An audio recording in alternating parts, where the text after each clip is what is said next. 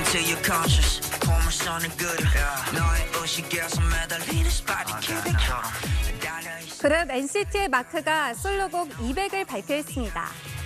예상치 못한 사랑이 결국 운명적 만남이 되는 이야기를 그리고 있는데요. 마크가 직접 작사, 작곡, 편곡에 참여했습니다.